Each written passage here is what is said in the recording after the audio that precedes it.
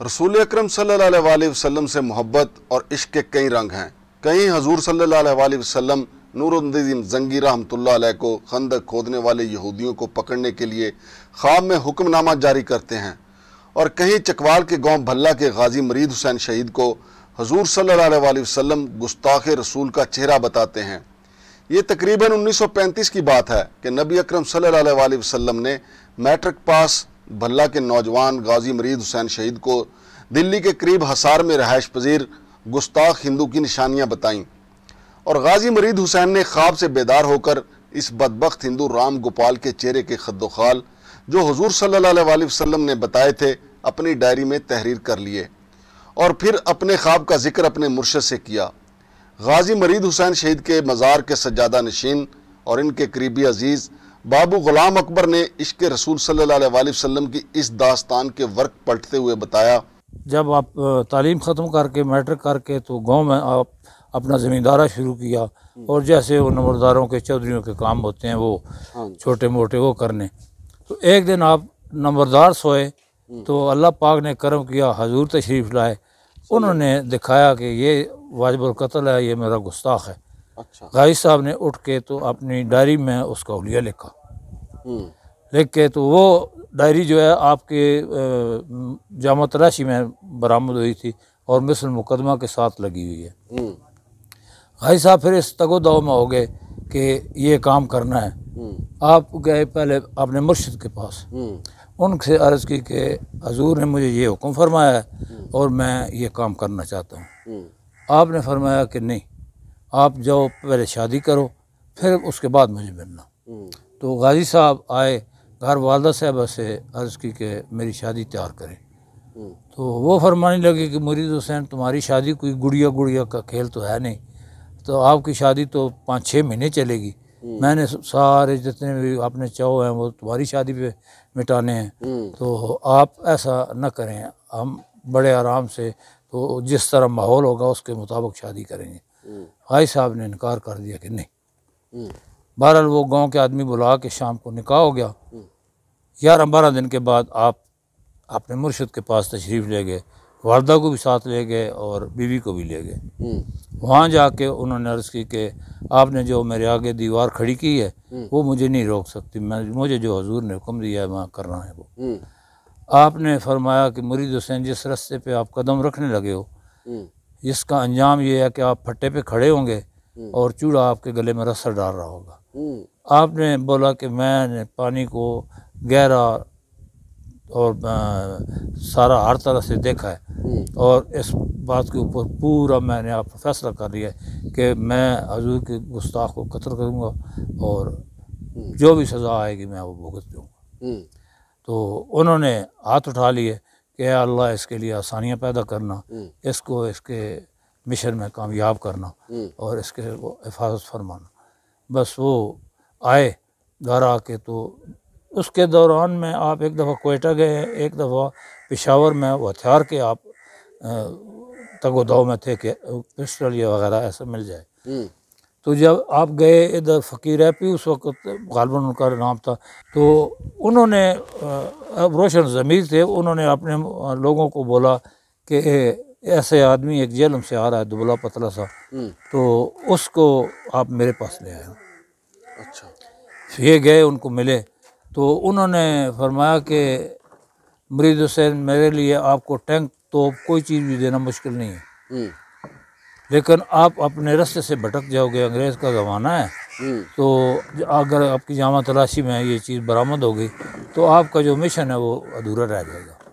تو آدمی مر جاتا ہے چاقو چھری سے بھی مر جاتا ہے۔ غازی مریض حسین شہید کو اپنی منزل تک پہنچنے کی آرزو تھی اور پھر جس عظیم الشان ہستی حضور صلی اللہ علیہ وسلم نے غازی مرید حسین شہید کو اس کافر کی نشانیاں بتائی تھیں انہی نے غازی مرید حسین کو اس بدبخت تک پہنچنے کا راستہ بھی بتا دیا۔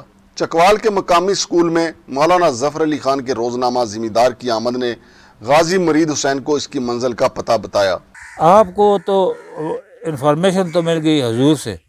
اچھا۔ آپ اس کے بعد تگدو میں ہو گئے کہ یہ کیسے پتہ اس وقت بہت محدود معلومات تھیں۔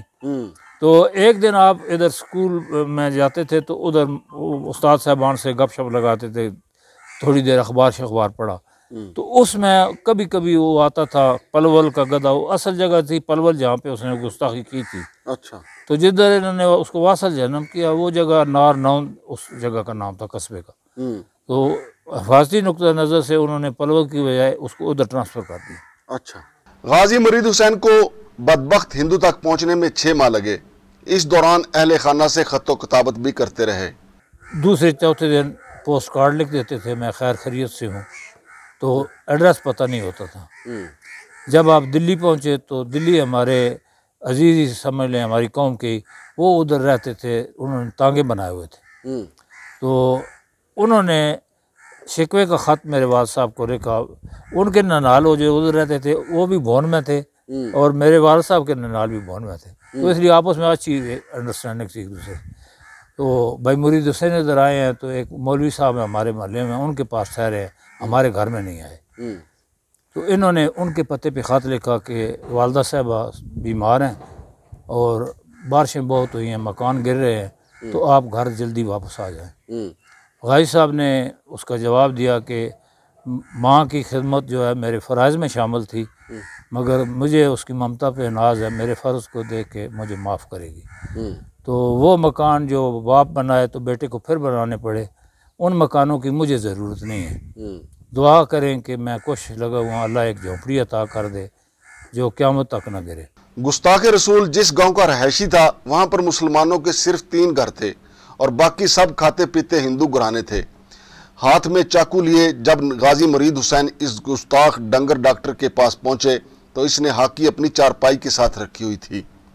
غازی مرید حسین نے اس ہاکی کو اس کے ٹخنے پر مار کر جگایا اور اسے اس کی موت کی آمد کی اطلاع دی۔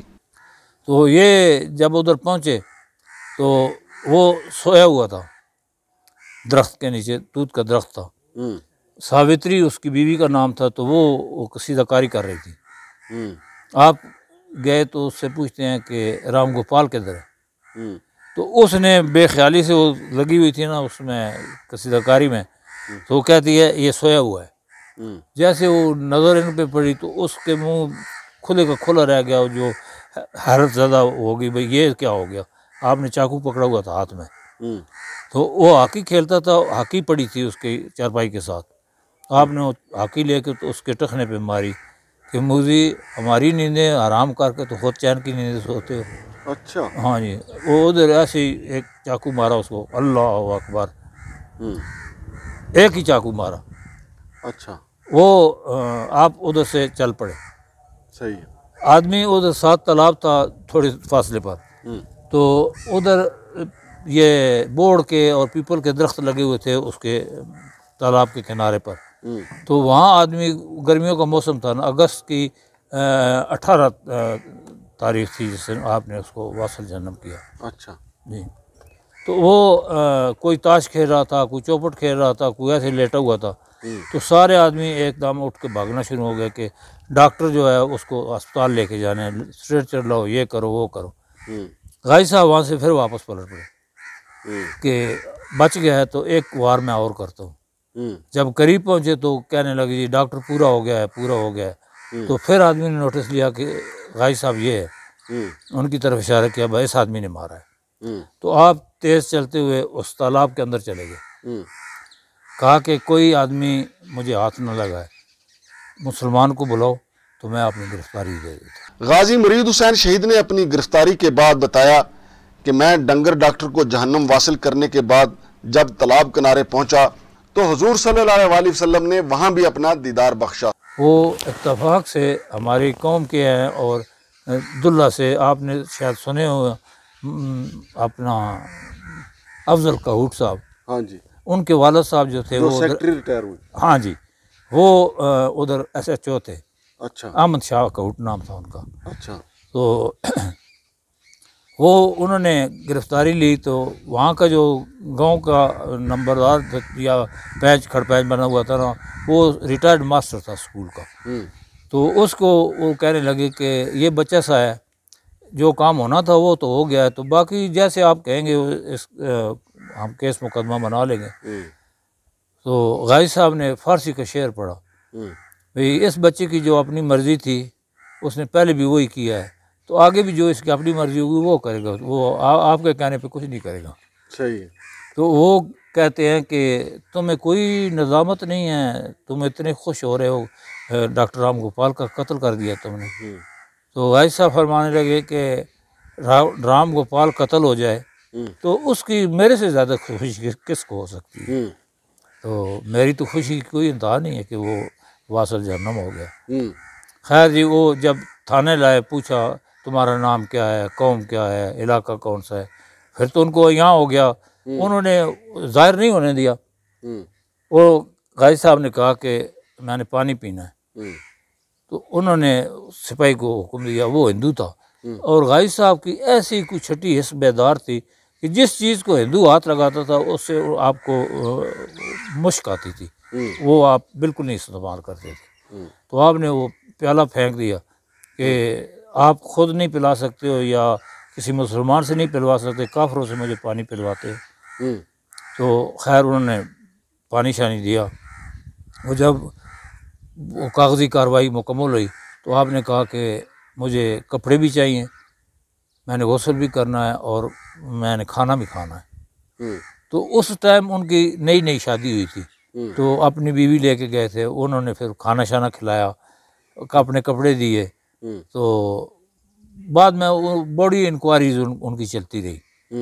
کہ اس نے اپنے علاقے سے اپنا ایک برادری کا آدمی بلا کے تو ڈاکٹر کو قتل کرایا ہے۔ تو پھر اس کو مٹانے کے لیے ڈاکٹر کو یہ قاتل کو جو ہے مارنا چاہتا تھا۔ تو غازی صاحب کو انہوں نے پہلے دن ہی وہاں سے حصار شفٹ کر دیا۔ تھانے میں رکھے ہی نہیں۔ تو پھر کیس چلتا رہا۔ اس کے بعد تقریباً تیرہ ساڑھے تیرہ ماہ کے بعد وہ سزائے موت کا آپ کو حکم ہو گیا۔ پھر اپیل کی۔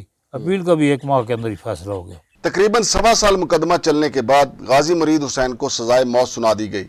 لواحقین نے میت کو چکوال لانے کے لیے پھانسی کی جگہ تبدیل کر کے لاہور مقرر کرنے کی درخواست کی مگر رد ہو گئی۔ لیکن غازی مرید حسین نے اپنی پھانسی کی جگہ کا تعین حیرت انگیز طریقے سے جیلم کروا لیا۔ انہوں نے سزائے موت برقرار رکھی۔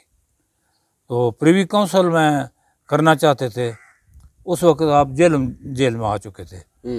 تو میرے والد صاحب نے درخواست دی کہ گرمی کا موسم ہے تو ناش لے جانے میں ہمیں دقت ہوگی۔ تو اگر ان کو لاہور جیل میں شفٹ کر دیا جائے سزا پہ ادھر عمل درآمد ہو تو ہم ناش لے جانے میں بھی آسانی ہوگی اور وہ ہمارے نزدیک جگہ ہے۔ تو وہاں سے غازی صاحب کو ملنے کے لیے میرے والد گئے۔ تو کہتے ہیں بھائی تو پریشان ہے۔ وہ کہنے لگے کہ کوئی نہیں پریشانی بس ٹھیک ہے۔ وہ غازی صاحب نے کہا نہیں تم پریشان ہو تو میں کہہ رہا ہوں. ہم ایک جگہ جو پلے بڑے ہیں ایک دوسرے کو خوب جانتے ہیں۔ تو وہ مطلب ان کے آنسو نکل آئے کہ میرا بھائی جو ہے وہ دنیا سے جا رہا ہے۔ تو مجھے کس بات کی خوشی ہے؟ میرے دل میں کیا خوشی ہو؟ تو میں نے ایسے درخواست دی تھی جیل تبدیل کرنے کے لیے تو وہ بھی منظور نہیں ہوئی۔ تو غازی صاحب کہتے ہیں کہ یہ تو یار تو مجھے کہتا تو میں کرا دیتا۔ تو کہتے ہیں میرے منہ سے ایسے بے سخت نکلا کہ آپ کے پاس کون سا رج تھا۔ تو کہتے ہیں نہیں کوئی نہیں ہے آپ لوگ آزاد ہیں آپ کے لوگوں سے تلقات ہیں۔ تو کہتے ہیں جس کا کوئی نہ ہو اس کا خدا ہوتا ہے۔ میں ابھی اندر جاؤں گا ایک آدمی کے سر میں لوٹا ماروں گا کہیں پاگل ہے اس کی جیل بدل دو۔ اور میرے والد صاحب ان کو مل کے آئے تو پانچویں دن پوسٹ کارڈ آ گیا کہ غازی صاحب جیلم جیل میں آ گئے۔ اس عاشق رسول صلی اللہ علیہ وسلم کی کرامت دیکھ کر جیلم جیل میں ایک ہندو نے اپنا دھرم بدل لیا اور اس کا نام غلام رسول رکھ دیا گیا۔ یہ بات ہے جیلم جیل کی۔ اچھا۔ جیلم جیل میں آپ کے ساتھ ایک کنجا کا ہندو تھا اس کی کوٹڑی تھی۔ اچھا جی۔ تو وہ سپاہی جو سنتری تھا نا اس کو کہے کہ غازی صاحب کی کوٹری سے آوازیں آ رہی ہیں باتوں کی۔ خوشبو آتی ہے روشنی ہے۔ وہ کہ نہیں ہے وہ کہ آپ اندھے ہیں نظر نہیں آتا آپ کو۔ مجھے آ رہی نظر میں تو کوٹھی میں ہوں۔ تو آپ سامنے کھڑے ہیں آپ کو نہیں نظر آ رہی۔ اس نے کہا کچھ نہ آواز آ رہی ہے نہ کچھ۔ وہ تو سویا ہوا آدمی جو اندر ہے۔ خیر دوسرے دن وہ ٹلائی کے لیے جب نکالتے ہیں نا تو غازی صاحب سے اس نے کہا کہ میں آپ سے ایک بات پوچھنا چاہتا ہوں۔ وہ کہتے ہیں پوچھو۔ کہہ رہے بھائی آپ کی کوٹری سے رات کو باتوں کی بھی آواز آتی ہے اور بہت پیاری خوشبو آتی ہے اور روشنی ہوتی ہے۔ تو کیا یہ میرا گمان ہے، وہم ہے یا میں صحیح ہوں؟ اس کی سنتری کی اور میری آپس میں بڑی ماری ہوئی ہے رات کو بھی۔ تو غازی صاحب نے فرمایا کہ تم چونکہ کافر ہو، میں آپ سے یہ بات شیئر نہیں کر سکتا۔ تو اس نے کہا کہ آپ اللہ واسطے جو بھی کہتے ہیں میں وہ بن جاتا ہوں۔ آپ میرے سے شیئر کریں یہ بات۔ تو آپ نے کہا کہ پہلے آپ اپنا لنگر الگ کرو اپنے نئے کپڑے شپڑے منگواؤ نائی کا بندوبست کر کے آپ مسلمان ہو اس کے بعد بات کریں گے۔ اس نے درخواست دے دی سپریڈینٹ کو کہ مجھے کپڑے دیے جائے میرا لنگر مسلمانوں کے ساتھ کیا جائے۔ میں نے کفر چھوڑ دیا ہے مسلمان ہو گیا ہوں۔ اور اپنا لکھ دیا کہ میری جو باڈی ہے اس اس نے بھی وہ قتل میں آیا ہوا تھا۔ تو بھائی میری باڈی جو ہے میں نے لکھ دیا ہے کہ اس کے وارث غازی صاحب ہوں گے۔ چاہے مجھے دفن کریں چاہے جلائیں جو مرضی کریں۔ تو میرا کوئی رشتہ دار نہیں ہے کسی کے ساتھ میرا کوئی تعلق نہیں۔ وہ سپریڈنٹ نے اس کے رشتہ داروں کو عزیزوں کو بلا لیا ملاقات کرائی۔ تو اس نے کہا کہ آپ کا میرا کوئی رشتہ نہیں ہے۔ آپ اگر اس دین حق پہ آ جائیں تو آپ میرے سارے رشتے ہیں۔ اگر آپ کافر ہی رہنا چاہتے ہیں تو میرا کوئی رشتہ نہیں ہے۔ میں نے مولوی صاحب بلاتا تھا غازی صاحب کو۔ میں نے مولوی صاحب کو لکھ کے دے دیا ہے یہ چاہے مجھے جلا دیں چاہے دفنا دیں جو مرضی کر دیں۔ تو میرا سب کچھ یہی ہے۔ تو اس وقت مجلس احرار کے جو جیلم شہر کے تھے نا صدر وہ غازی صاحب کے پاس اکثر آتے تھے۔ تو انہوں نے پھر اس کی تجیز و تکفین کی اور اسے عیدگاہ قبرستان میں ان کی نام اس کا غلام رسول رکھا۔ غازی مرید حسین کی اپنی والدہ سے آخری ملاقات بہت دیدنی تھی۔ اکلوتا بیٹا رکھنے والی ماں کی آنکھوں سے آنسوؤں کی برسات جاری تھی لیکن غازی مرید حسین شہید کے حوصلے بلند تھے۔ اور وہ اپنی ماں کو بار بار دلاسا دے رہے تھے کہ کل صبح لوگ آپ کو مبارکباد دے رہے ہوں گے۔ اور لوگ دعائیں مانگیں گے کہ اللہ انہیں بھی غازی مرید حسین جیسا بیٹا عطا کرے۔ وہ میرے والد صاحب سناتے تھے ہم تو اس وقت پیدا ہی نہیں ہوئے تھے دس سال بعد پیدا ہوئے۔ اچھا۔ تو میرے والد صاحب سناتے تھے کہ میں اس مسئلہ سے واقف نہیں تھا کہ وارث اگر جنازہ پڑھ لے تو پھر جنازہ نہیں ہوتا وہ ایک فرض کفایا ہے ختم ہو جاتا ہے جنازہ ہو جاتا ہے۔ تو بڑی دنیا آئی ہوئی تھی۔ میں بھی اگلی صف میں کھڑا ہو گیا۔ جیسے ہی وہ ابھی صفحے بن رہی تھی تو حوالدار آیا کہتا ہے کہ آپ کو سپریڈنٹ بلا رہا ہے۔ وہ جو چیزیں وصول کرنی ہیں نواز غازی صاحب کی جو چیزیں تھیں وہ وصول کرنی تھی تو آپ نے دستخط کرنے ہیں۔ وہ ادھر چلے گئے جنازہ ہو گیا۔ پھر تین گاڑیاں تھیں ایک بس تھی ویگنے تو اس میں ہمارے بارہ آدمی گھر کے گئے ہوئے تھے جنہوں نے ملاقات کی۔ تو وہ آگے بس کے کھڑا کرتے تھے۔ تو جو آدمی ہوتے تھے مختلف گاؤں میں جگہ جگہ وہ سبیلیں بنائی ہوئی تھی استقبال کے لیے لوگ آئے ہوئے تو بڑا بڑا منظر تھا۔ اچھا۔ تو وہ پڑھ لیتے تھے۔ جب ادھر سیکل آباد پہنچے تو ترمنی شریف ہمارے ادھر ایک بزرگ ہیں بڑے بزرگ تھے پیر صاحب۔ انہوں نے پوچھا کہ خیر مہدی کدھر ہے میرے والد صاحب کا نام خیر مہدی تھا۔ تو آپ اتر کے گئے ملے تو کہتے ہیں کہ تم نے جنازہ تو نہیں پڑھا؟ تو ابا جی فرمانے لگے بھائی میں نے تو پہلی دفعہ سنا تھا کہ وارث کے جنازے کے بعد جنازہ نہیں ہوتا مجھے پتہ ہی نہیں تھا اس کا۔ لیکن اللہ نے ایسا کرم کیا کہ لوگوں کو مستفیض کرنا تھا۔ تو میں جنازے میں کھڑا تھا تو ادھر بلا لیا سپریڈنٹ نے۔ تو پیر صاحب کہنے لگے کہ جنہوں نے بھی گھائی صاحب کا جنازہ پڑھنا ہے نا تو انشاءاللہ وہ سارے جنتی ہیں ان میں۔ تو اللہ تعالیٰ نے آپ کو بچا لیا ہے کہ آپ کا فیض جو ہے وہ کم نہ ہو۔ تو ادھر پھر جنازہ ہوا بہت بڑا اجتماع تھا۔ تو والد صاحب میرے نے ادھر آ کے قبر پر جنازہ آخری ہوا جو چند لوگ رہ گئے تھے نا اچھا۔ اس میں پڑا پھر بھائی تاکہ جتنے بھی آدمی مستفیض ہو جائیں وہ بہتر ہے۔ جس وقت دو چیزیں ہوئیں۔ جب ان کو دفن کیا تو آپ کے مرشد تشریف نہیں لائے۔ اچھا۔ انہوں نے پیغام بھیجا ایک ہمارے قاضی غلام عدی صاحب تھے اسلامیہ اسکول چکوال کے وہ محتمم تھے۔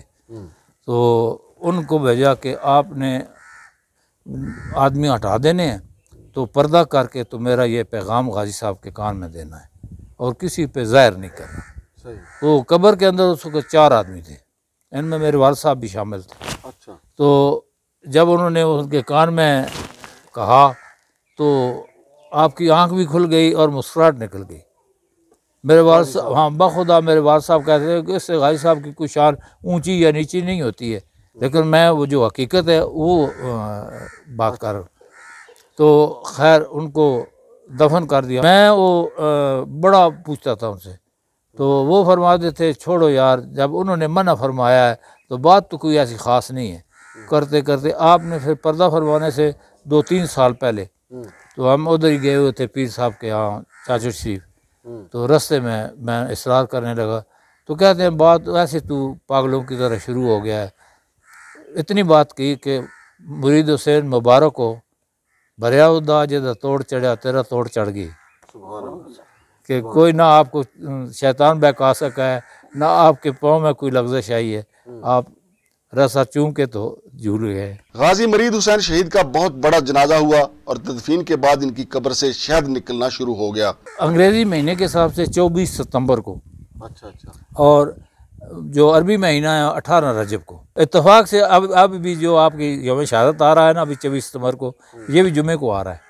غازی مرید حسین کو جس چارپائی پر آخری آرام گاہ تک لایا گیا تھا وہ چارپائی پچاسی سال گزرنے کے باوجود بہترین حالت میں روزہ مبارک پر موجود ہے۔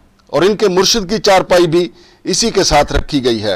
عشق رسول صلی اللہ علیہ وآلہ وسلم میں ڈوبے ہوئے اس غازی مرید حسین شہید کی قبر مبارک پر اب واضح طور پر نام محمد صلی اللہ علیہ وآلہ وسلم ابھر کر سامنے آیا ہے، جبکہ اس کے ساتھ ہی ان کے مرشد کی تشبیح بھی ظاہر ہوئی ہے۔ اس قبر پر وہ سوراخ جہاں سے شہد پھوٹا تھا، وہ ابھی تک موجود ہے۔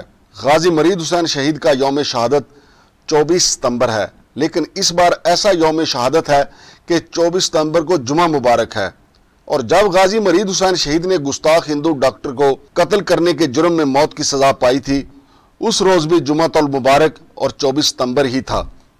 عاشقان رسول صلی اللہ علیہ وآلہ وسلم کے لیے غازی مرید حسین شہید اور غازی علم دین شہید جیسے عظیم عاشق ایک نمونہ ہیں۔ اور دور حاضر میں سچے عاشقان رسول صلی اللہ علیہ وآلہ وسلم کی ماضی سے بھی زیادہ ضرورت ہے۔ کیونکہ گستاخان رسول کی تعداد پہلے سے کہیں زیادہ بڑھ چکی ہے۔